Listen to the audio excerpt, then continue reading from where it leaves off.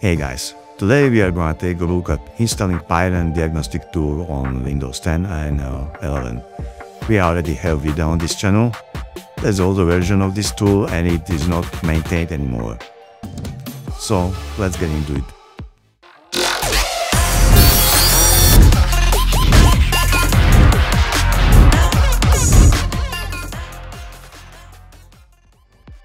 We can start with official GitLab page where you can find a lot of useful information like supported cars, how to install the Pyren dependencies that you need for it to run and folder organization.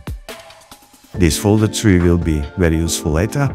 This is where most of the people make mistakes while installing the Pyren. So what we will need is Python version 3.7 and Neon one. I'm using version 3.13 with no problems at all. When installing it, don't forget to click on Add Python to Path.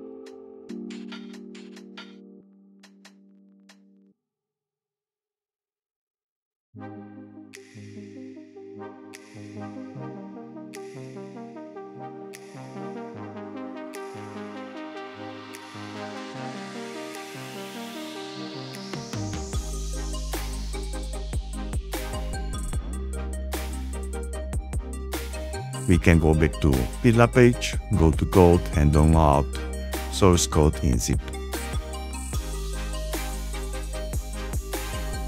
I will unpack it in my working folder and copy database files in there.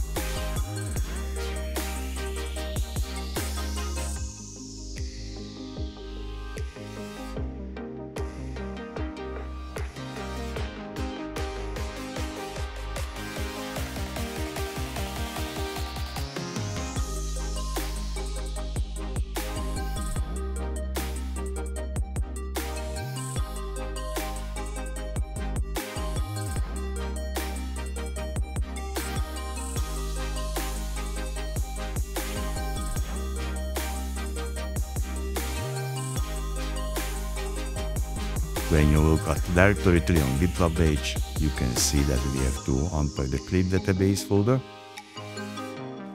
When you don't unpack the clip database, you won't see cars in Pyren application.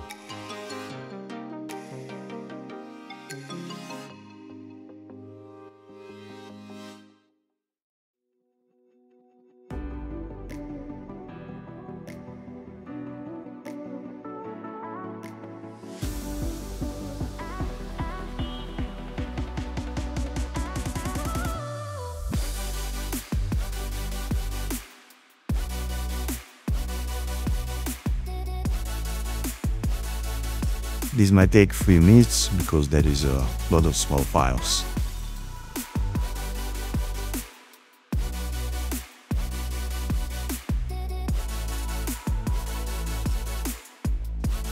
Now we can start the Pyren application.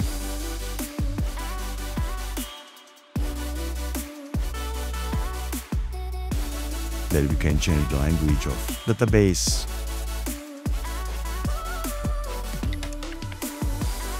here port window in here we will choose all uh, um, ELM adapter later.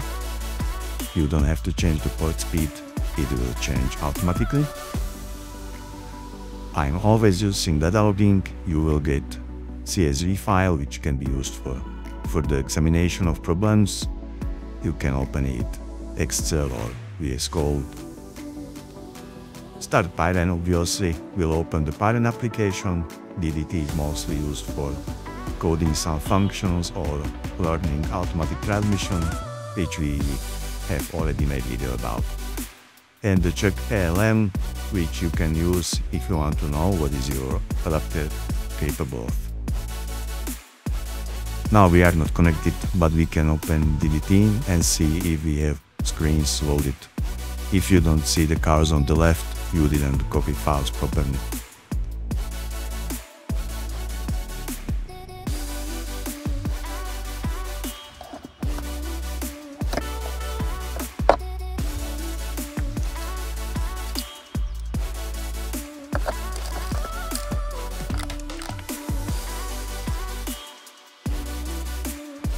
Now we can pair or, or go to the laptop with computer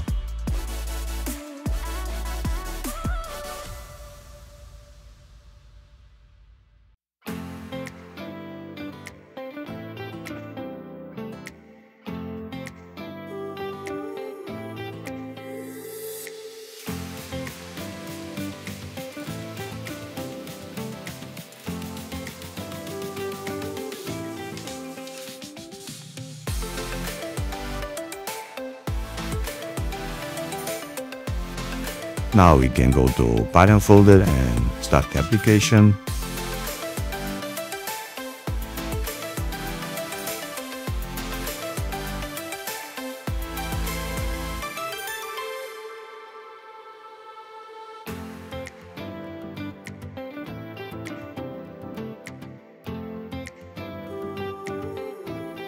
I have two Bluetooth ports available so I will go and check ELM which one is connected.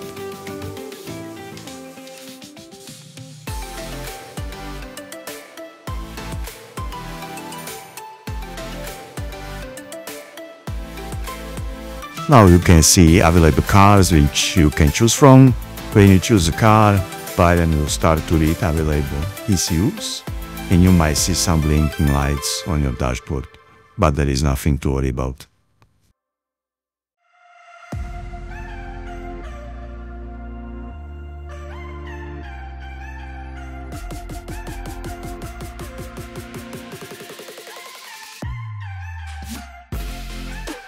Now we have available ECUs which we can interact with.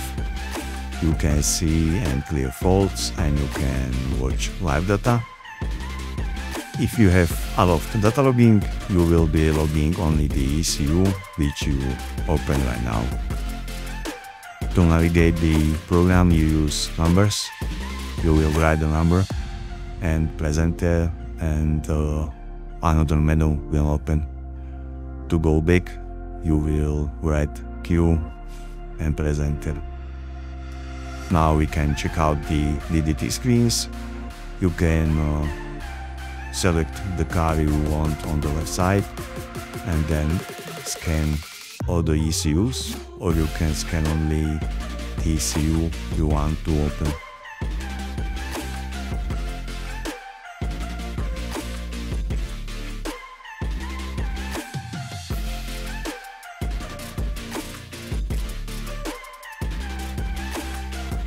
So select the desired ECU and click to connect.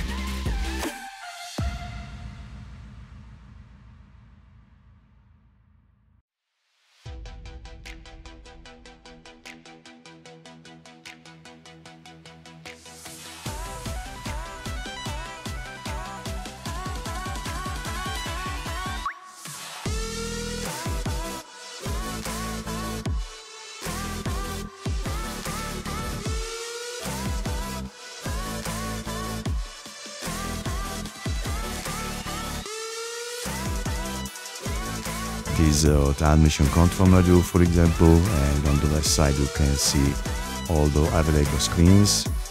Some of the screens are only showing some data but on some of them you can perform some actions. For example I saw uh, some people enabling Android Auto and for example us we used it for a new TCM.